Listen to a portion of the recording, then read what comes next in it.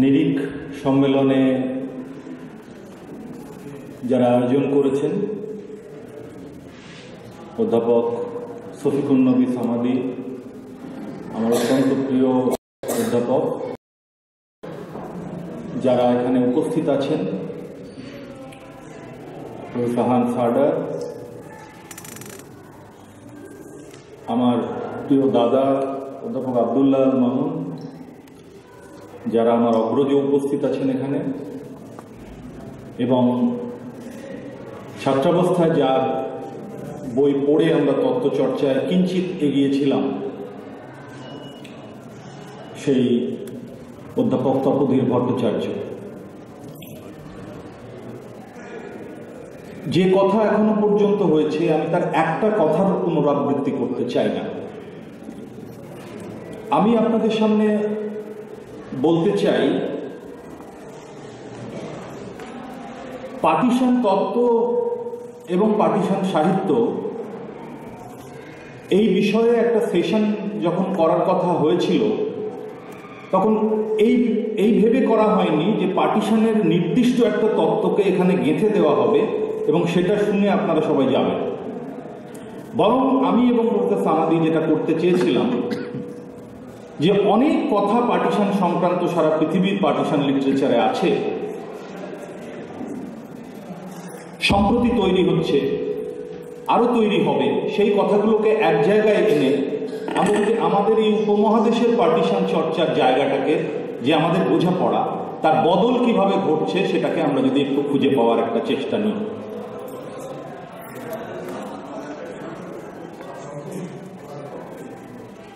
দেখুন সাহিত্য সমাজের মুকুর এই কথাটা হচ্ছে সূর্য পূর্ব দিকে ওঠে মতো সত্যি কথা। হ্যাঁ যে সমাজ ব্যবস্থা ভেঙে গিয়েছে যে সমাজ ব্যবস্থার মধ্যে অনেক আঘাত এসছে যে সমাজ ব্যবস্থা দুভাগে তিন ভাগে সময়ের পর্যায়ক্রমিক বিবর্তনের মধ্যে মধ্যে ভেঙে গেছে তার প্রভাব সাহিত্যে আসবে এর মধ্যে নতুনত্ব কিছু নেই কালে কালে যুগে যুগে এটা হয়েছে। কিন্তু আমি এই কথার দিকে যাব। আমি আপনাদের কাছে জানাতে চাই যে ধরুন, এই যে আমরা যারা এখন চল্লিশ, পঁয়তাল্লিশ বছর বয়স পার্টিশন চর্চার একটা সবচেয়ে বড় অসুবিধা এবং সুবিধার জায়গা হচ্ছে পার্টিশনের কোনো নিরপেক্ষ বয়ান হয় না। পার্টিশন চর্চার কোনো নিরপেক্ষ শ্রোতা হয় না, কোনো পাঠক হয় না। আমরা সর্বদাই তার ওপরের সারফেসে একটা নিরপেক্ষ আড়াল রাখি। পার্টিশন চর্চা সর্বদাই একটা নির্দিষ্ট পক্ষ অবলম্বনের কথা বলে এবং বাধ্য করে। আমরা যখন এই সব কথা ভেবে শুরু করেছিলাম, কীভাবে উত্তর প্রজন্মের ছাত্রছাত্রী, উত্তর প্রজন্মের পাঠক, তারা তাদের না জানা একটা অতীতকে দেখবে, তখন আমাদের বারবার ঘুরে আসতে হয়েছিল পার্টিশনের মেমরি চর্চার দিকে, স্মৃতি চর্চার দিকে। এইটার কারণ হচ্ছে উনিশশো নব্বইতে আপনারা জানেন, ভারতবর্ষের বাংলাদেশে বসে আমরা যেভাবে পার্টিশন শব্দটাকে এই আলোচনায় শুরু থেকে ব্যবহার করছি, এটা অনুধাবন করা একটু মুশকিল। তার কারণ আমরা পার্টিশনের স্বাধীনতার উল্টো পিঠে, অর্থাৎ কাউন্টার স্টেট আর্গুমেন্ট করছি অ্যাকচুয়ালি আপনারা এখানে আসে, এসে যখন একাত্তর নিয়ে কথা বলেন, এখানে দাঁড়িয়ে বলেন, তখন সেটা প্রো স্টেট আর্গুমেন্ট আপনারা রাষ্ট্রের পক্ষে কথা বলেন। ভারতবর্ষে দাঁড়িয়ে পার্টিশনের চর্চাকে যদি সঠিকভাবে বুঝতে হয় এবং ধরতে হয় তাহলে ভারতবর্ষের যে রাষ্ট্র কাঠামো, সেই রাষ্ট্র কাঠামোর মধ্যে এবং তার গড়ে ওঠার মধ্যে মূল ঐক্যকে ধরতে হবে এবং মূল অনৈক্যকে ধরতে হবে। ভারতবর্ষ একটা বহুভাষিক রাষ্ট্র, একভাষিক নয়। সুতরাং আমরা, এই কারণে আমরা বলছি, আমি এই পর্বে নিজেকে বাঙালি যে জায়গা, বাঙালি ভাষা, বাঙালি জাতীয়তাবাদ, এই জায়গা থেকে একটু আলাদা করে নিচ্ছি। তা না হলে পশ্চিমবঙ্গের কনটেক্সটে পার্টিশন চর্চাকে বোঝা মুশকিল। দেখবেন আপনারা, খেয়াল করে ভারতবর্ষে যত পার্টিশন নিয়ে কাজ হয়েছে, কাজ তো আবার আমরা এখন ইউরোপ থেকে আসি, আমাদের এখানে আবার কাজ হলে সেটা আবার গ্রহণযোগ্য হয়। যে কোনো বিষয়ের কাজ আমরা ইউরোপ থেকে আনি। সেই জন্য পশ্চিমবঙ্গ এবং পাঞ্জাবের পার্টিশনের কাজ যারা করে, আমার বয়সী তারা তারা কিন্তু পরে সব সাউথ এশিয়ান স্টাডিজের ডিপার্টমেন্টে প্রফেসর হান্সের ডিপার্টমেন্টেও আছে। আমি সমালোচনা করছি না কিন্তু বলছি। তারাও যারা কাজ করেছে তাদেরও দেখবেন অধিকাংশ কাজে মূল ভিত্তিগুলো মূল রিডিংগুলো মূল কথাগুলো সেগুলো পাঞ্জাব পার্টিশনের উপর অফিসে তখন সেখানে জনবিনিময় অনেক সুস্থির সেখানে ট্রমা অনেক ভয়াবহ তার প্রতিক্রিয়া ছিল অনেক তাৎক্ষণিক। একটা বড় পার্থক্য হচ্ছে বেঙ্গল পার্টিশনের সঙ্গে পাঞ্জাব যে এখানে কখনোই এই প্রভাব একদিনে ঘটে যায় যে মর্মান্তিক পরিস্থিতির মধ্যে দিয়ে আজকে ভারতবর্ষের পূর্ব প্রান্তের একটা রাজ্য যাচ্ছে তার অবস্থা অনুধাবন করা বলা এখানে বসে সম্ভবই নয়। সাড়ে তিন কোটি মানুষের মধ্যে চল্লিশ চল্লিশ লক্ষ মানুষ হঠাৎ করে দেখছে যে তারা আজকে ভারতবর্ষের নাগরিক নয়। এটা রাষ্ট্র বলছে। এটা রাষ্ট্র বলছে। সেখানে দাঁড়িয়ে আপনি যখন পার্টিশন চর্চা করবেন, তখন আপনার মেথোডোলজি আপনার ভাবনা, আপনার জায়গাগুলোকে একটু অন্যরকম স্থানাঙ্কে নির্ধারিত করতে হবে। নব্বই সাল থেকে যখন পার্টিশনের একটা বিকল্প ইতিহাস লেখা বা খোঁজার চেষ্টা হলো, লেখা বলব না, খোঁজার কথা হলো, তখন মূলত বড় কাজ করলেন মুশিরুল হাসান। তার ওই India partition the other face of ফ্রিডমে যেখানে উনি দেখালেন যে পার্টিশনের সাহিত্যের মধ্যে ইতিহাসের একটা বড় উপাদান আছে। আমি হিস্ট্রির এই কাজগুলোর মধ্যে যাব। পার্টিশন চর্চার মূলত দুটো জায়গা, একটা হচ্ছে আর্কাইভাল ডকুমেন্টের উপর তার হিস্টোরিক্যাল পার্সপেক্টিভ ধরা এবং তার অ্যানালজি এবং তার জায়গাগুলোকে পরপর পর্যায়ক্রমিকভাবে ধরতে ধরতে যাওয়া। আর দ্বিতীয় হচ্ছে পার্টিশনের নন আর্কাইভাল ডকুমেন্ট পার্টিশনের যে যে ডকুমেন্ট মহাফেজখানার দলিলে রূপান্তরিত হয়নি, মানুষের মনের মধ্যে রয়ে গেছে, হারিয়ে গেছে তার স্মৃতি, তাকে খুঁজে আনে। উনিশশো থেকে যখন এই কাজ শুরু হলো, তখন সবচেয়ে পাথ ব্রেকিং কাজ করলেন আশিস নন্দীরা এবং যাদের কথা যার কথা আমরা মানে প্রায় সকলেই ছাত্রছাত্রী থেকে অধ্যাপকরা সবাই করি, তিনি হচ্ছেন উর্বশী ষোলো বছর, সত্তর বছর ধরে সত্তর আশিটা মাত্র ইন্টারভিউ করেছিলেন। যার ভিত্তিতে উনি আদার সাইড অফ সাইলেন্স লেখেন এবং জেন্ডারের কোয়েশ্চেনকে পিচ করেন। তার আগে পর্যন্ত আমরা এই ট্রমা মেমোরিকে মানে জেন্ডার নিরপেক্ষভাবে ভাবতাম। এই যে জেন্ডারের কোয়েশ্চেন এলো, তারপরে শেখর বন্দ্যোপাধ্যায় আনলেন দাসকের কোয়েশ্চেন বর্ণের প্রশ্ন, এগুলো আস্তে আস্তে যত দিন যাচ্ছে, তত বিভিন্ন মাত্রা এই মেমোরি স্টাডিজের মধ্যে যুক্ত হচ্ছে। এখন এই নব্বইতে সাতানব্বইতে আশিস মন্দিরের একটা বড় পরিকল্পনা বড় প্রকল্প নেন। সেই প্রকল্পটা হচ্ছে তার টাইটেলটা ছিল আহ, মীনাক্ষী ভার্মা ওই কাজের ফলো আপ হিসেবে প্রথম একটা বই লেখেন যেটাতে আশিস নন্দীর একটা ইন্ট্রোডাকশন ছিল। Aftermath and oral history of violence এই বইটা কিন্তু প্রথম কোনো সংগঠিত মেমোরি রিসার্চের কাজ। এর আগে কিন্তু সংগঠিতভাবে ইনস্টিটিউশনালি কোনো মেমোরি রিসার্চের কাজ পার্টিশন নিয়ে হয়নি। এখানে একটা মৌলিক কথা বলা হয়। অনেক কথা বলা হয়, সে কত ডিটেল আমি যাচ্ছি না। সেই কথাটা হচ্ছে এই, যে ওরাল হিস্ট্রি কালেকশন এর যে পার্টিশন ইন্টারভিউগুলোতে যে অ্যাপ্রোচ থাকে, এটা মূলত পাশ্চাত্যের অ্যাপ্রোচ অর্থাৎ ওই আমেরিকা এবং ইউরোপের যে বিশ্ববিদ্যালয়গুলো ইউরোপ এবং আমেরিকার যে যে জায়গায় পার্টিশনগুলো হয়েছে ইউরোপিয়ান কান্ট্রিগুলোতে যেমন ধরুন যুগোস্লাভিয়া সাইপ্রাস ইসরায়েল প্যালেস্টাইন এখানে হলোকাস্টের পরবর্তীকালে। সে প্রসঙ্গে আমি পরে আসছি। এখানে যে পার্টিশন মেমোরি সেইগুলোকে তুলে আনার জন্য তারা যে ইন্টারভিউ করতেন, সেই ইন্টারভিউ ছিল খুব ইন্ডিভিজুয়াল আশিস নন্দী বলছেন, ভারতীয় সমাজে এই ধরনের ভারতীয় সমাজ ব্যবস্থার যে গঠন, যে গড়ন, তাতে এই ধরনের ইন্ডিভিজুয়ালিস্টিক নেচারের ইন্টারভিউ খাটে না। তার কারণ, এখানে সমাজগুলো খুব জুতোবদ্ধ, খুব জোড়া লাগা আছে। একজন কখনো মাইগ্রেট করে। আমাদের গোটা পার্টিশনে এমন একটা পরিবার আছে, যে পরিবার একা পা মাইগ্রেট করেছে কোনো জায়গা থেকে আরেক জায়গায়। তার বড় কারণ হচ্ছে আমাদের সোশ্যাল বন্ডিং আমাদের পারিবারিক বন্ডিং অর্থাৎ যখন ইন্টারভিউ করা হবে, তখন একই সঙ্গে এই গোটা মাইগ্রেশনের ইতিহাসকেও একসাথে তুলতে হবে। এটা কোনো একটা মানুষের গল্প নয়। একটা মানুষের গল্পের মধ্যে জুড়ে আছে ওই পরিবারের অন্য মানুষের গল্প। একটা খেলা দিলেই আর একটাও ছড়িয়ে পড়বে তার প্রভাব। সুতরাং একে আপনি ওইভাবে মানে যেভাবে ইউরোপের পার্টিশনের মৌখিক দলিলকে আমরা সংগ্রহ করেছি, সেভাবে করা যাবে। এটা আমার প্রথম বক্তব্য, যেটা এই প্রকল্পের মধ্যে বলা হয়। একটু যদি সরে যাই অন্যদিকে, তাহলে দেখবেন ক্যারেন টিলের লেখা আপনারা অনেকেই যারা ফ্যাক্ট পড়িয়েছেন, আরও অনেকেই জানেন, পড়বেন বা আগ্রহী যারা তারা জানেন। Berlin East Germany, West Germany পার্টিশনের পর নিউ বার্লিন, এই শহর নিয়ে উনি একটা বই এই বইয়ে উনি বলেন যে, এই যে নিউ বার্লিন, নতুন বার্লিন হলো এই বার্লিনটা কি দেখায়? চোখে যেটা দেখা যাচ্ছে বার্লিন শহর, শুধু সেটা নয়, এই বার্লিন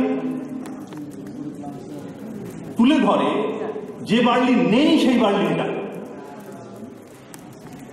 পার্টিশনের কলকাতা শুধু এই নয়, শিয়ালদা শহর, শিয়ালদা স্টেশন। পার্টিশনের কলকাতা শুধু এই নয়, মনুমেন্টের তলায় উদ্বাস্তুর ছবি।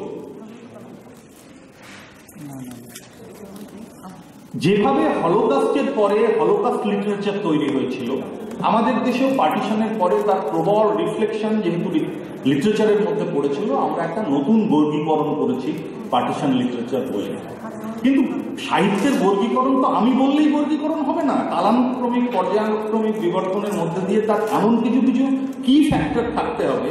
যে ফ্যাক্টর দিয়ে আপনি বলতে পারবেন নর্মাল টেক্সটের থেকে একটা পার্টিশন লিটারেচারের টেক্সট ডিফারেন্ট এটা হচ্ছে কোথায়?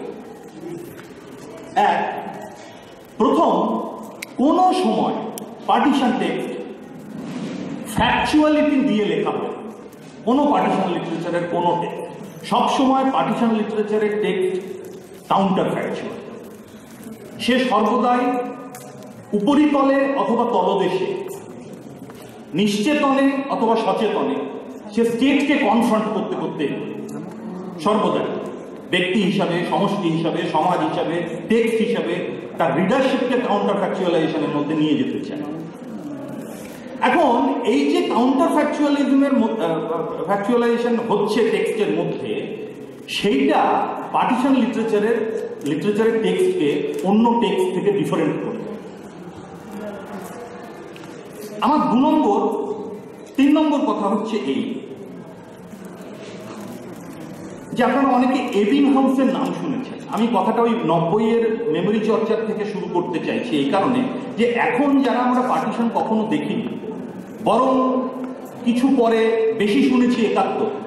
তার কারণ পশ্চিম এই এই প্রবণতাটা তো বাংলার পার্টিশনে ধরাই হয়নি যে পশ্চিমবঙ্গবাসীর যে লক্ষ লক্ষ মানুষ মানসিকভাবে বাংলার দেশের মুক্তিযুদ্ধে বাংলাদেশের পাশে ছিল, তাদের যে সমর্থন, তার যে প্রকাশ, তারা কোনো বাংলাদেশ আসতে চায় না কখনো। স্টিল নাও তারা মনে করে এটা তাদের দেশ, এটা তাদের যুদ্ধ ছিল। এই যে মেমোরি এবং তার যে ম্যাপিং এটা কিন্তু ভারতের লেখালেখির মধ্যে বা পার্টিশন লিটারেচারের মধ্যে সেইভাবে মূল প্রবণতা হিসেবে উঠে আসে।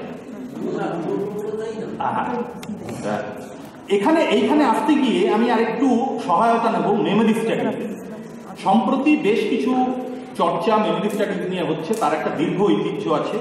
প্রথম আমরা আঠেরোশো পঁচাশি সালে অন মেমোরি বলে হারমান এবিং হাউস বলে একজন মনো বিশেষজ্ঞ ছিলেন সাইকোলজিস্ট তার কথা আপনারা অনেকেই জানেন।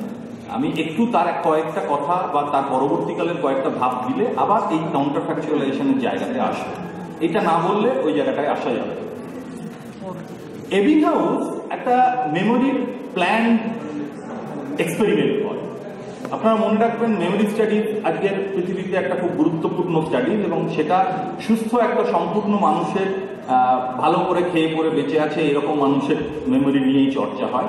নিশ্চিতভাবেই সেটা কোনো ট্রমাটাইজ মানুষের মেমোরি নিয়ে হয় না। মানে এই যে রিডিংগুলো আসে। এই অন মেমোরি এতে আঠারোশো পঁচাশি সালে এই হারমান এবিংহাউস করলেন কি সাঁত্রিশটা যে সিলেবলগুলো আপাতভাবে অর্থহীন, এইরকম সিলেবলকে পাঁচ ঘণ্টা থেকে একুশ দিন পর্যন্ত সময়ান্তরে একজন মানুষকে পড়তে বললেন এবং মনে রাখতে বললেন। পড়তে বললেন এবং মনে রাখতে মনে রাখুন, এই কথাটা বেশি গুরুত্বপূর্ণ যে এই সিলেবলগুলো পারস্পরিকভাবে কোনো সম্পর্কহীন। পি ই এল আপাতভাবে কোনো সম্পর্ক নেই। ধ্বনিগতভাবেও সম্পর্ক নেই। অক্ষরগতভাবেও সম্পর্ক নেই। লেখার যে লেটারগুলো তার যে গ্রাফ সেটার কোনো মিল নেই। এইরকম তিনটে লেখা, তিনটে অক্ষর সিলেবল তাকে উনি মুখস্থ করতে বললেন এবং পরে জিজ্ঞেস করলেন কতগুলো মনে আছে। দেখা গেল যে এই তার যে ভুলে যাওয়ার রেট এটা হচ্ছে লগারিদমিক অর্থাৎ প্রথমে যেটা মনে করেছেন সে খুব দ্রুত ভুলে গেছেন, তারপরে আরও দ্রুত ভুলে গেছেন, তারপরে এসে গ্রাফটা একটা জায়গায় এরকম হয়ে গেছে। অর্থাৎ আর তিনি লাস্টেরটা ভুলছেন না। এটা ছিল খুব যুগান্তকারী একটা পরীক্ষা মেমোরি স্টাডিজের ক্ষেত্রে, যে মানুষ যে মনে রাখে, সেই মনে রাখাটার এবং ভুলে যাওয়াটা পর্যায়ক্রমিকভাবে ঘটতে থাকে, কিন্তু ঘটতে, থাকতে থাকতে একটা জায়গায় একটা স্থিতি হয়। সে ন্যূনতম একটা জিনিস মনে রাখে। বেশ কিছুদিন পরে, উনিশশো বত্রিশে এই কাজকে প্রবলভাবে কাউন্টার করেন বার্ল, ফ্রেডরিক বার্ল। এ একটা মৌলিক জায়গায় প্রশ্ন। বলল এটা ঠিক। এবিংহাউসের আহ, কথা এবং এবিংহাউসের এক্সপিরিয়েন্স এক্সপেরিমেন্ট সত্যি খুব গুরুত্বপূর্ণ। কিন্তু এর একটা মৌলিক ভ্রান্তি হচ্ছে এই মানুষ কখনো পরস্পরভাবে অর্থহীন এরকম কোনো সিলেবলিকে মনে রাখার তার দরকারই হয় সে কখনো মনে রাখে অর্থাৎ তিনি মিনিং এর কম্পোনেন্টকে এর মধ্যে ঢোকালেন। দিয়ে বললেন যে আমি যখন গল্প বলি গল্প বলতে বলি তখন তো স্মৃতির গল্প বলে সে? এই গল্প তার স্মৃতির থেকে অনেক বেশি কোহেরেন্ট হয়। স্মৃতির মতো লুজ হয় না। এটা বার্লেট বললেন। বললেন যে এতে অপদ্রব্য ঝরে যায়। এতে তিনি যে সময় ওই এক্সপিরিয়েন্স করেছিলেন, তার প্রভাব তার গল্প বলার মধ্যে কোনো না কোনোভাবে থাকে। এই দ্বিতীয় পর্যায়ে ফ্রেডরিক বার্লেটের পর আমরা দেখলাম যে মেমোরি স্টাডিজ একটা নির্দিষ্ট জায়গা পেল এবং জায়গা পেল তার সবচেয়ে বড় প্রমাণ হচ্ছে মেমোরি স্টাডিজ নিয়ে প্রচুর গবেষণা শুরু। আগেই কোনো একজন বক্তা স্যারই বলছিলেন মনে হয়, এমন এমন সময় পৃথিবীতে আসে যখন তত্ত্বের সমস্ত প্রিজমগুলো না মানে হয় বহু রঙের আলো ছড়াতে লাগে আর তা নাহলে ভেঙে চুরমার হয়ে যায়। প্রথম এবং দ্বিতীয় বিশ্বযুদ্ধ ছিল তত্ত্বের জগতে এইরকম অজস্র তত্ত্ব জন্ম নিয়েছে এবং অজস্র পুরনো তত্ত্বকে ভয়াবহভাবে আক্রান্ত হয়েছে তারা। তা নতুনভাবে তৈরি হয়েছে। দুটো বিশ্বযুদ্ধের অভিজ্ঞতার পর উনিশশো আটষট্টিতে অ্যাটকিনসন এবং সিফ্রি এরা দুজন একটা ওয়ার্কিং মেমোরির মডেল যে মডেলটা খুব গ্রহণযোগ্য মডেল অনেক ডেভেলপমেন্ট তারপরে হয়েছে, কিন্তু মূলত এই মডেলটা কার্যকর। এতে ওনারা তিনটে ভাগ করছে একটা হচ্ছে প্রথম হচ্ছে সেন্সারি মেমোরি অর্থাৎ আমার অর্গান রিলেটেড আমার ইন্দ্রিয় সাপেক্ষ যে অনুভূতি, এবং তাকে মেমোরাইজ করা। দ্বিতীয়ত হচ্ছে শর্ট টার্ম মেমোরি আর তৃতীয়ত হচ্ছে লং টার্ম কিন্তু মজা হচ্ছে মেমোরি বা যা আপনি সেন্সারি মেমোরিতে অ্যাকোয়ার করছেন, তা সবটাই লং টার্মে যায় না। সেটা শর্ট টার্মে স্টোর হয়ে থাকে। সেই জন্য শর্ট টার্ম মেমোরিকে অনেক সময় ওয়ার্কিং মেমোরি বলা হয়। শর্ট টার্ম মেমোরি এবং ওয়ার্কিং মেমোরি এই দুটোকে আরও বেশি রিফাইন করলেন অ্যালেন ব্র্যাডলি উনিশশো ষাট সালে, যেখানে স্প্যানের ধারণা নিয়ে আসা। স্প্যান মানে কতক্ষণ? জর্জ মিলার উনিশশো পঞ্চাশে এর আগে একটা নতুন এক্সপেরিমেন্ট করেছিলেন। যে এক্সপেরিমেন্টটা বলা হয়েছিল, ভুলে যাওয়ার যে রেট নিয়ে এবিং এবিং হাউসের কথা ছিল, সেই এবিং হাউসের মতো তিনি বলেছিলেন, এই শর্ট টার্ম মেমোরি যা ইনফরমেশনকে গ্রাস্প করে the amount of information that person is able to hold within short term memory seven plus minus two অর্থাৎ আপনাকে যদি কন্টিনিউয়াস সাতটা, আটটা জিনিস বলা হয়, তাহলে আপনি মোটামুটি এগারোটা, পনেরোটা জিনিস বলা হয়। আপনি অন অ্যান অ্যাভারেজ পাঁচটা থেকে সাতটা জিনিস লাস্ট মনে রাখতে পারবেন। এগুলো সুস্থ মানুষের প্রথম বিশ্বে করা এক্সপেরিমেন্ট এইগুলো থেকেই এই তত্ত্বগুলো দাঁড়িয়েছে। আমরা নানাভাবে এই তত্ত্বকে বক্তব্যের মধ্যে দিয়ে আক্রমণ করব। তার কারণ আমরা বাস্তবে দেখতে পাই এই তত্ত্বগুলো আক্রান্ত হয়। আমাদের পার্টিশন চর্চার মধ্যে দিয়ে। আমি সেই জন্য আগে মানুষটা বানাচ্ছি ফুটোটা পরে। এই যে শর্ট টার্ম মেমোরি এই শর্ট টার্ম মেমোরিকে এরা বলছে এটা দুরকম ভাবে যায়। শর্ট টার্ম মেমোরির মধ্যে কীভাবে যায়? এর একটা ফোনোলজিক্যাল লুপের আইডিয়া দিচ্ছে যে মানুষ মনে রাখে কিন্তু ফোনোলজিক্যাল লুপে অর্থাৎ ভার্বাল এক্সপ্রেশনকে মনে রাখে। কিন্তু এই ভার্বাল এক্সপ্রেশন যা তার ফোনোলজিক্যাল লুপে থাকে সেই ফোনোলজিক্যাল লুপ আর যা সে দেখে, অর্থাৎ ভিজুয়াল স্পেশাল স্কেচ প্যাড এইরকম একটা ধারণা উনি দেন। এই ব্র্যাডলি চুয়াত্তর সালে আরও বেশি রিফাইন করেন অ্যাটকিনসন শিফরিনের মডেল তখন এরা বলেন, এই দুটোই যায় সেন্ট্রাল এক্সিকিউটিভে এবং সেখান থেকে ঠিক হয় এই মেমোরিটা শর্ট টার্ম থেকে লং টার্মে যাবে এখানে একটা ধারণা আর বললেই হবে সেটা হচ্ছে এই যে শর্ট টার্ম থেকে লং টার্ম মেমোরিতে যাচ্ছে, যা নিয়ে আমাদের পরবর্তী বক্তব্য এবং আমাদের গোটা কাজ যারা এই পার্টিশন চর্চা করছি এবং মেমোরি কালেকশন করছে তাদের। কেন কোনোটাই শর্ট টার্ম মেমোরি নয়, পুরোটাই লং টার্ম মেমোরি ফলত শর্ট টার্ম থেকে সেটা কীভাবে লং টার্মে গিয়েছিল, এই জায়গাটা খোঁজা দরকার। এখানে একটা ধারণা আনেন এই ব্র্যাডলে, সেটা ধারণাটা হচ্ছে এপিসোডিক বাফার অর্থাৎ শর্ট টার্ম থেকে এই যে লং টার্মে যাচ্ছে অডিও ভিজুয়াল ইম্প্যাক্টের মধ্যে দিয়ে ফোনোলজিক্যাল লুপের মধ্যে দিয়ে ভিজুয়াল ভিজুয়াল স্পেশিয়াল এত কঠিন কঠিন নাম। ভিজুয়াল স্পেশিয়াল স্কেচ প্যাড অর্থাৎ মনের মধ্যে ছবির যে ধারণা সেইটা এবং আমার যে শ্রুতিকে ধারণ করার আমার যে ফোনোলজিক্যাল লুপ এই দুটো কম্বাইন হয় central executive central executive decide করে সে এই মেমোরি লং টার্ম মেমোরিতে যাবে কিনা? যখন যায়, তখন উনি একটা নতুন ধারণা দেন, সেটাকে বলে এপিসোডিক বাফার অর্থাৎ এই যে সবটা যাচ্ছে না শর্ট টার্ম মেমোরি নানাভাবে মেনুভার করে। মেনুভার করে সে লং টার্ম মেমোরিকে যখন নতুন করে রিট্রিভ করার ধারণা প্রয়োজন হয়, তখন সে শর্ট টার্ম মেমোরির সাথে নানাভাবে মেনুভারিং করতে করতে যায় এবং এই যে যাওয়াটা, এই মেনুভারিংটাকে ওনারা বলেন এপিসোডিক বাফার এবার আমরা ফিরি, অনেক হয়েছে টুলভিন যখন এপিসোডিক মেমোরি আর সিম্যান্টিক মেমোরি এই দুটোর মধ্যে পার্থক্য করেন টুলভিন বলেন যে এপিসোডিক মেমোরি হচ্ছে স্পেশাল ইভেন্টের মেমোরি আর সিম্যান্টিক মেমোরি হচ্ছে জেনারেল মেমোরি অর্থাৎ আমরা সোজা কথায় বলতে পারি সিম্যান্টিক মেমোরি হচ্ছে নলেজ প্যারাডাইমকে ডিফাইন করে আর এপিসোডিক মেমোরি হচ্ছে কোনো স্পেশাল ইভেন্টকে ডিটারমিন করে। বা মিন করে এবার যখন দেখুন, আমরা এই যে পার্টিশন মেমোরি তার ব্যক্তিগত জীবনের স্মৃতিকে খুঁজতে চাইছি, যা এত বছর আগে হয়েছে, তখন সর্বদাই না, এই স্মৃতি, এই মেমোরি এই স্ট্রাকচারগুলো ফলো করে করে যায়। কিন্তু কোথায় অসুবিধা দেখুন, এই যে এপিসোডিক মেমোরির ধারণা যা ওরা দিল, সেটা কীরকম ভাবে বাংলার পার্টিশনে খাটে না দেখুন। মডেলকে সবসময় খাটে বললে চলবে না। মডেলটার মধ্যে একটা অন্তর্ঘাত আছে। অন্তর্ঘাত ঘটাতে তার কারণ, মডেল এরকম ধরে একটা জায়গায় বসে। অধিকাংশ জায়গায় আমরা না, একটা মডেলকে নিয়ে আর একটা মডেলের উপর চাপাই। মডেলের মধ্যে কিছু ইনার ইন্টারনাল দ্বন্দ্ব আছে, যেগুলো প্রতি মুহূর্তে বিদ্রোহ করে। বিদ্রোহগুলোকে চেপে চুপে দিয়ে বলে দেওয়া যাবে বুঝতে হবে যে ওগুলোর মধ্যে কোথায় কোথায় এই ফ্লগুলো আছে। আপনি যদি খুব সাদা মাটা ভাবে ভাবেন, তাহলে দেখুন মনে হবে একটা short term memory sensory memory যে ধরুন ধর্ষিতা হয়েছে। তার যে ট্রমা এই ট্রমাকে উর্বশী বলেছিলেন সাইলেন্ট মহিলাদের ইন্টারভিউ করতে চাইছেন মহিলারা কিছু বলছে না পার্টিশন এই তো সোজা কথা। দিয়ে বলছেন, এই যে বলছে না, এটা রিড করতে হবে সাইলেন্সের মধ্যে ওনার ওই যাপনটা লুকিয়ে আছে।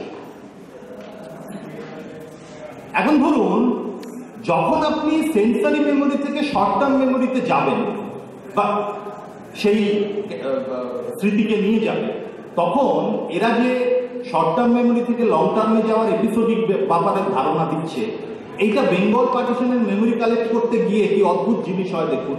সে সর্বদাই আমরা ভাবি, সে আজকের পার্সপেক্টিভ নিরপেক্ষভাবে বয়ান দেবে। এটা কখনো হয় না। কারণ এই এপিসোডিক ব্যাপারের মধ্যে লুকিয়ে থাকে আজকের ভারতবর্ষ।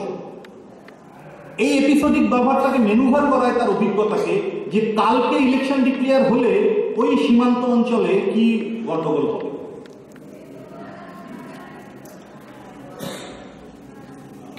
এই জায়গাগুলোকে আমরা পার্টিশন স্মৃতি চর্চায় আমাদের খুব গুরুত্ব দিয়ে বিচার করার দরকার। সময় কমে আসছে, আমি আরেকটু বলেই শেষ করব। সেটা হচ্ছে এই যে এবার ধরুন এই যে স্মৃতির মেমোরি কালেকশনের কথা আমরা বললাম, এটাকে আমরা তো লিটারারি রিপ্রেজেন্টেশনের মধ্যে দেখতে চাই বা দেখি। দেখার দরকারটা? মানে কেন হঠাৎ ইতিহাসের লোকেরা এত সাহিত্য পড়তে লাগলে হলোকাস্টের সময় আর পার্টিশনের সময়। বাকি সময় তো আর্কাইভের গিয়েই তাদের কাজ চলে যাচ্ছে। তারা হঠাৎ কেন ইতিহাস পড়তে লাগলেন এই সাহিত্য পড়তে লাগলেন তার কারণ, তাদের তো দলিল নেই। দলিল ছাড়া তো মান্য স্ট্রাকচারকে তৈরি করা খুব মুশকিল। তাহলে মৌখিক লিটারেচার বা রিটেন লিটারেচার যার মধ্যে যাকে এতদিন আক্রান্ত হতে হচ্ছিল প্রচণ্ড সাবজেক্টিভ বলে, তার মধ্যে হঠাৎ তারা অবজেক্টিভিটি খুঁজে পেল। এবং খুঁজে পেয়ে এই যে যাদের কথা দিদি বললেন সতীশা দিদি আগে বললেন, আমিও কিঞ্চিত ওই বইগুলো দেখেছি, এরা সবাই পঞ্চাশ নিম্ন ব্রিটিশ হিস্ট্রির অধ্যাপক। ইয়াসমিন খান, খাজিরা বাইজালা লং পার্টিশন যার বই অনন্যা জাহানারা কবি, অবশ্য লিটারেচারে, পিপা ভেদ্দু তারপরে আপনার গুলরেম বে এই প্রত্যেকটা কাজ যা তারা ইন্ডিয়ান পার্টিশন নিয়ে করছে, তাদের মূল ফোকাস হচ্ছে মেমোরির কোনো নির্দিষ্ট ম্যাপিং যে ম্যাপিং থেকে তারা একটা করে সিদ্ধান্ত ডিরাইভ করছে। অনন্যার সিদ্ধান্ত কি?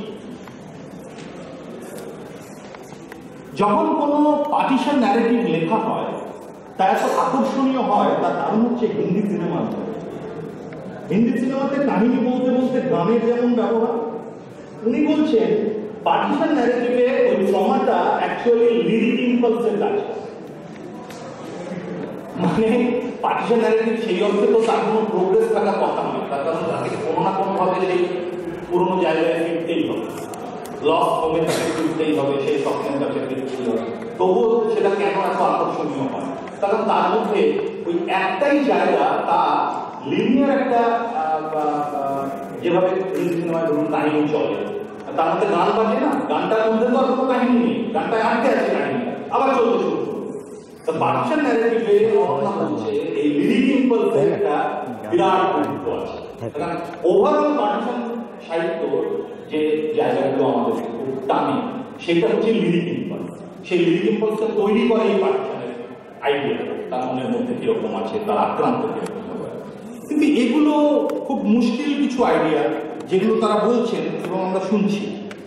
আমাদের সময় এসছে উত্তর প্রজন্মের কাছে। আমরা যারা পার্টিশন দেখিনি, আমরা যারা পরবর্তীতে কাজ করছি, তাদের আমাদের ওয়ার্কিং প্র্যাকটিসের বোঝাপড়াটাকে একটু পৃথক করে একটা ডিটাচমেন্টের সময় এসছে বেঙ্গল পার্টিশন নিয়ে। তার কারণ ভারতবর্ষের বহুভাষিক ভারতবর্ষের রাষ্ট্রের কাঠামোর মধ্যে দাঁড়িয়ে যেমন যে যে ভুল আমরা সাউথ এশিয়ান স্টাডিজ করলে আমরা সমস্ত বৈচিত্র্যময়তাকে অস্বীকার করে একটা মনোলিথিক রাষ্ট্র ব্যবস্থা বা একটা মানসিক ব্যবস্থার কথা কল্পনা করে যেটাকে বিরোধিতা করি, ঠিক ভারতবর্ষে তাই করে এই বহুভাষিক রাষ্ট্রের বিভাজন রেখাগুলো এতটাই কোয়ান্টিটেটিভলি ডিফারেন্ট গুণগত মানে ব্যাখ্যায় এতই আসামের প্রান্তর, বাংলার প্রান্তর, পাঞ্জাবের প্রান্তর তিনটের পরিপ্রেক্ষিত ক্ষেত্র এত আলাদা এবং তিনটের ক্ষেত্রেই রাষ্ট্রের ভূমিকা পরের শব্দটা খুব বলা মুশকিল। হ্যাঁ খুব মুশকিল বলা। এই আটকে যাওয়াটা হচ্ছে পার্টিশন চর্চা। আমরা, আমাদের একটা ডিটাচমেন্টের সময় এসছে যখন আমাদের নিজেদের এই পার্টিশন চর্চার পরিসরটাকে তৈরি করতে হবে এটা আমরা কীভাবে তৈরি করব? এটা তৈরি করব আমরা আপার মিডল ক্লাস থেকে নিচের দিকে। না নামা অর্থাৎ আমাদের মেথোডোলজি আমরা যা বলছিলাম এতক্ষণ এতদিন ধরে সেইখানে আমরা বলছিলাম পার্টিশনের পর প্রতিষ্ঠিত মানুষের সাক্ষাৎকার নিচ্ছিলাম কোনো না কোনো। পার্টিশন শুধু ট্রমা নয় পার্টিশন প্রচুর মানুষকে প্রচুর বেনিফিট দিয়েছে। কখনো আমরা সাকসেসে অনেক মানুষকে অনেক বেনিফিট দিয়েছে পার্টিশন পার্টিশনে সবসময় পার্টিশনের ফলে একটা বাংলা ভাষা রাষ্ট্র পেয়েছে। বাঙালি জীবনে একবারই কালকেতুর পরে বীরের মোড় করেছে। সে ভাষার প্রশ্নে বলুন আর যায় প্রশ্নে। আর একাত্তর শুধু বাংলাদেশের নয়, একাত্তর পশ্চিমবঙ্গবাসী আমরা যখন পার্টিশন চর্চা করি তখন আমাদের উত্তর প্রজন্মের পরিষদকে বারবার খুঁজে নিতে হয় আমাদের নিজস্ব জায়গা। যেখানে আমাদের সম্পূর্ণভাবে কাউন্টার ফ্যাকচুয়াল জায়গাগুলোর মধ্যে দিয়ে যেতে হয়। আজকের দিনে পশ্চিমবঙ্গের কোনো পাঠককে অতীন বন্দ্যোপাধ্যায়ের নীলকণ্ঠ পাখির খোঁজে নাড়া দেয় না। এটা বলা কঠিন, বলে ফেললাম। তার কারণ, চল্লিশ বছর তার নিচে কুড়ি বছর, তিরিশ বছর তারা নীলকণ্ঠ পাখির খোঁজে পড়ে না। শেখর দাসের বই বরং তারা পড়ে। আগ্রহীরা আক্তারুজ্জামানের খোয়াবনামা বরং তারা পড়ে। কেন জানেন? নট অনলি দ্যাট যে ওটা পাওয়া যায় না ওটা আমি এই আমরা যে একটা কাজ করি তার নিয়ে অতীনবাবুর সাথে যখন ইন্টারভিউ নিতে গেছিলাম অতীনবাবু বলেছিলেন বছরে তিন লাখ টাকা শুধু ওই বইটার রয়্যালটি পায় বাংলায় হ্যাঁ বাংলাতে। বাংলা বই তো রয়্যালটি তো দেয় না। মানে আপনার এত ইম্পর্টেন্ট বইও মনে হ্যাঁ, এইগুলো হয়। হ্যাঁ, অতীনবাবুর এই যে নীলকণ্ঠ পাখির খোঁজে সেটার মধ্যে যে ইমেজ যে নীলকণ্ঠ পাখি যে তার যে প্রতিকার এর সময় নব্বইয়ের দশকে শেষ হয়ে গেছে। আস্তে আস্তে এটা ফেল কারণ এর মধ্যে তার পরবর্তীকালের ক্ষয় পরবর্তীকালের দ্বন্দ্বগুলো নেই। যার মধ্যে দিয়ে আমরা এখন যাচ্ছি। ভাষার সংকট ধর্মের সংকট বর্ণের প্রশ্ন, জাতির প্রশ্ন, সীমান্তের প্রশ্ন ভয়াবহ হয়ে উঠছে যায় এপার বর্ডার ওপার বর্ডার বলে আর একজন সম্প্রতি মারা গেল, সোহরাব হোসেন, আপনারা জানেন। একটা অনবদ্য গল্প আছে। আপনারা যদি পড়েন কখনো, আমি কতিপয় কয়েকটা গল্পের কথা আপনাদের বলে শেষ করব। গল্পটাতে দুপাশেরই বর্ডারে চোরাচালান করে একজনের কথা আছে। যে কি অদ্ভুত, দুটো বর্ডারে আক্রান্ত হচ্ছে, কিন্তু অদ্ভুত ব্যাপার, সে কোনো বর্ডার ছেড়ে পালিয়ে যেতে পারছে না। সীমান্ত এমনভাবে তার মনের মধ্যে বসে আছে যে সে ভারত থেকে যখন চোরাচালানের পুলিশ তারা করে, তখন বাংলাদেশের বর্ডারের পাশে আছে। বাংলাদেশে এখানে যখন বিডিআর তারা করে, তখন ভারতবর্ষের তাকিতে চলে যায়। কিন্তু বর্ডারের আশেপাশে তাকে থাকতেই হবে। কি অদ্ভুত দেখতে। আমরা একদম নতুন যারা পার্টিশন নিয়ে লেখালেখি করে, তাদের কয়েকটা লেখালেখির দিকে আপনাদের দৃষ্টি আকর্ষণ করব। এই কারণে যে সে, এই কারণে নয় যে সেগুলো খুব ভালো উপন্যাস হয়েছে। তখন ভালো উপন্যাস তো কমই হয়। আমরা একাত্তর সালে দেখেছিলাম কেয়া পাতার মুখ, ভালো উপন্যাস, শুরুর দিকে মর্যাদা পায়নি অনেক বছর পর সবচেয়ে বড় বড় বাংলার কথা সাহিত্যিকেরা সাতচল্লিশ জীবনে কাটিয়েছেন। রবীন্দ্রনাথের সৌভাগ্য রবীন্দ্রনাথকে সাতচল্লিশ দেখে যেতে হয়। কিন্তু কজন সাহিত্যিকের লেখার মধ্যে আমরা পার্টিশন কেন্দ্রীয় ফোকাস হতে দেখেছি? তা নিয়ে বিতর্ক আছে, নানা কথা আছে, কিন্তু আমি সে কথার মধ্যে যাচ্ছি না। কিন্তু হতে তো দেখিনি, আমাদের একটা নতুন বড় উপন্যাস এবং সেটা বাংলার উপন্যাস, বাংলাদেশের উপন্যাস নয়। খোয়াবনামা পড়ার জন্য অন্তত চল্লিশ বছর অপেক্ষা করতে হয়েছে। তার কারণ আমরা ওপর থেকে পার্টিশন দেখছিলাম। আমরা নেতাদের পলিটিক্সের মধ্যে পার্টিশনের ভবিষ্যৎকে খুঁজছিলাম। আমরা কখনোই নিচুতলার মধ্যে পার্টিশনের যে প্রভাব পার্টিশনের যে কথা, তার যে যে কথাগুলো প্রতিনিয়ত যেরকম ভাষা হারিয়ে যাচ্ছে সেই রকম পার্টিশনের স্মৃতি হারিয়ে যাচ্ছে। সেই হারানো কথাগুলোকে আমাদের সাহিত্যিকেরা খোঁজে নেই উদ্বাস্তু সাহিত্যিক উদ্বাস্তু হয়েছেন, জীবনে প্রতিষ্ঠা পেয়েছেন, তারপরে তার লেখার বিষয়ে পার্টিশন এসছে। অঙ্ক কষে কষে দেখিয়ে দেওয়া যায়। কিছু সত্যি কথা পার্টিশন চর্চা সামনে নিয়ে আসতে চায়। একে কেমোফ্লেজ করে পার্টিশনের চর্চা হয় না। নতুন প্রজন্মের সুবিধা হচ্ছে তাদের একটা ডিস্ট্যান্সিং আছে, তার একটা দূরত্ব আছে। সে যত সহজে তার উত্তরসূরির লেখাকে নেগেট করতে পারে, সমকালে সেটা সম্ভব ছিল আজকে ষাট পর্যন্ত বাংলার লেখা লেখার মধ্যে কিছু প্রবণতাকে নেগেট করার সময় এসছে। তার মানে এই নয়, সেগুলো লেখার খারাপ। এই হিসাব এই অ্যাঙ্গেল থেকে কিন্তু কথাগুলো বলছি না, আশা করি কেউ বুঝছেন। মানিক বন্দ্যোপাধ্যায়ের স্বাধীনতার স্বাদ। দেশভাগের দাঙ্গা নিয়ে লেখা উপন্যাস। মানিক বন্দ্যোপাধ্যায়ের ক্যানভাসের তুলনায় ওই ওই উপন্যাসটা কতটুকু বলুন যিনি পুতুল নাচের রীতিকথা লেখেন, যিনি পদ্মা নদীর মাঝি লেখেন, তিনি কলকাতার দাঙ্গা নিয়ে দেখাচ্ছেন যে একে ছোড়া মারছে আর ও পাড়ে গিয়ে মারা যাচ্ছে। ওই পাড়ায় গিয়ে। এই মানিক বন্দ্যোপাধ্যায় এই মানিক বন্দ্যোপাধ্যায় তো কুবের কপিলা থেকে শুরু করে পুতুল নাচের শশী তৈরি করেছিলেন। আমরা বারবার দেখেছি, এটা হলকাস্টের সময় হয়েছে, এটার জন্য মানিক বন্দ্যোপাধ্যায়, বিভূতিভূষণ সম্পর্কে দায়ী করে লাভ নেই। এটা প্রমাণ করে পাঞ্জাবের পার্টিশন থেকে বাংলার পার্টিশন কত আলাদা। পর্যায়ক্রমিকভাবে ভারতবর্ষের ডেমোগ্রাফিতে বাংলার পার্টিশন পরিবর্তন এনেছে। পর্যায়ক্রমিক এত গভীর এবং এত গূঢ় প্রভাব বাংলার পার্টিশনের, যে তার পরবর্তী যে কোনো সামাজিক ডিসকোর্স এই পার্টিশনের যাত্রা থেকে আপনাকে শুরু করতে হবে এবং মধ্যে স্থাপন করতে হবে আপনাকে একাত্তরকে এই সমস্যাগুলো আমাদের উত্তর প্রজন্মের কাছে নতুনভাবে দেখা দিচ্ছে, আমরা যেগুলোকে কাটিয়ে উঠে নতুন করে কথাবার্তা শুরু করতে চাই। শেষ একটা কথা বলে আমি শেষ করব। একটা উপন্যাস। অপেক্ষাকৃত বয়স্ক মানুষ, অমর মিত্র, আমাদের এই খুবই ঘনিষ্ঠ আমার অমরদা। আমি খুব নির্মমভাবে, নিরপেক্ষভাবে বলার চেষ্টা করছি এরকম নয়, আমারও একটা বায়াস আছে। তার কারণ আমি প্রথম থেকেই বলছি যে, এই চর্চার মধ্যে নিরপেক্ষ বয়ান আমি কখনো খুঁজিনি এবং খোঁজাটাকে আমি তাত্ত্বিকভাবে বিরোধিতা করতে চাই। অমরদা একটা উপন্যাস লিখেছিলেন, উপন্যাসটা খুব বেশি বাজারে আসেনি, বেশি লোকজনের কাছে পৌঁছয়নি, তার কারণ ওটা ছেপে ছিল এনবিটি মার্কেটিং ভালো হয়নি হয়তো। উপন্যাসের নাম হচ্ছে দশমী দিবস।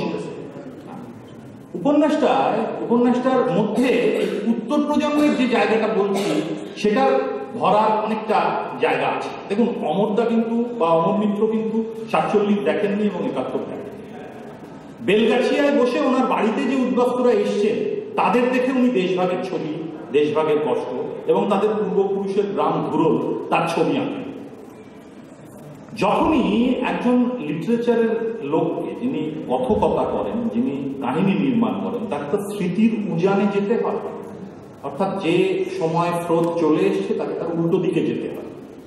অথচ তার মধ্যে ইতিহাস নেই। তাহলে তিনি কীভাবে যাবেন আমার তো প্রত্যক্ষ অভিজ্ঞতা নেই। আমি সাতচল্লিশ নিয়ে কীভাবে লিখব? আমার সমকালীনতার মধ্যে সাতচল্লিশের যে মেটাফরগুলো আছে, সেই মেটাফর থেকে আমাকে সাতচল্লিশে পৌঁছতে হবে। এই মেটাফরগুলো কোনো সময় স্ট্যাটিক নয়। সব সময় চলিস এই সীমান্তগুলো শুধুমাত্র কাঁটাতার নয়, এগুলো মনের মধ্যে পরতে পরতে, ঘৃণার মধ্যে, ভালোবাসার মধ্যে, প্রেমের মধ্যে লুকিয়ে আছে। সেগুলো প্রতিনিয়ত স্থান পরিবর্তন করছে। এইগুলোকে যিনি ধরতে পারছেন তিনি পার্টিশনের নতুন কথাকার হয়ে উঠছেন। বাড়িতে কাজের লোক কাজ করছে। বঙ্গালোকালে আসে, কলকাতায় এসে কাজ করে চলে যায়। ওই হচ্ছে পার্টিশনের এফেক্ট তখন কিন্তু বলছি না। যখন নমুনা সংগ্রহ করছি স্মৃতি, তখন সবচেয়ে সাজানো ফ্রেমওয়ার্কের ড্রয়িং রুমে বসে আমরা তার স্মৃতি সংগ্রহ করছি। এইখানে রয়ে যাচ্ছে এই ফাঁকিটা, যে ফাঁকির মধ্যে দিয়ে আমরা আজকের কন্টেম্পোরারি বাংলা, সমকালীন বাংলাকে পাকিস্তান চর্চার সঙ্গে যুক্ত করতে পারছি। দশমী দিবসে উপন্যাসের বহমানতার সঙ্গে অমর মিত্র মধুসূদনের সাতক্ষীরা গ্রামের বাড়ি ছেড়ে চলে যাওয়া যে ঘটনা, সেইটাকে সমান্তরাল করে দিল। দিয়ে মধুসূদনের বিদায় হয় এবং ওখান থেকে পাটিসানোত্তর মানুষের চলে আসে। এই দুটো কাহিনীকে একসাথে গুনে চললে। খেয়াল করে দেখুন দুটোই বিদায়ের বর্ণনা দুটোই একই গ্রামের বর্ণনা কিন্তু একটা ফিকশনাল একটা রিয়াল মধুসূদন ওইভাবে ছেড়েছিলেন কিনা কি বৃত্তান্ত এগুলো তো জনমনে কথিত এটা তো অ্যাকচুয়াল ঘটনা। হ্যাঁ। তাহলে এই দুটো সমান্তরাল ভাবে চলছে।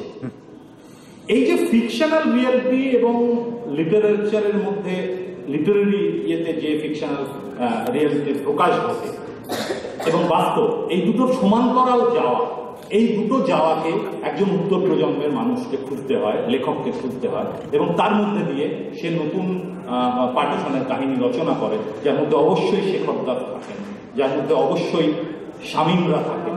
আহ, যার মধ্যে অবশ্যই আয়েশা খানুমরা থাকেন সৌরভ দ্বারা থাকেন নতুন নতুনভাবে লেখা। হয় বাংলাদেশের নতুন প্রজন্মের লোকেরা লিখছে, তারাও তাদেরও কাহিনী নতুন রকমভাবে যাচ্ছে তার মধ্যে অনেক পাঠের পাঠান্তরের পার্থক্য আছে, সেগুলোকে স্বীকার করতে হবে এবং সেগুলো স্বীকার করে আমাদের দায়িত্ব নিতে হবে যারা আমরা পরবর্তীকালে পার্টিশনকে নিজেরা যারা প্রত্যক্ষ অভিজ্ঞতায় আমাদের যাদের নেই, তাদেরকে দায়িত্ব নিতে হবে যে আমরা এই কাজে আরও কত বেশি বেশি মানুষকে যুক্ত করতে পারি, ভাবতে পারি এবং নতুন একটা দিক খুলতে পারি। আমাদের কিছু করার সময় এসছে শুধু পড়ার নয়। ধন্যবাদ।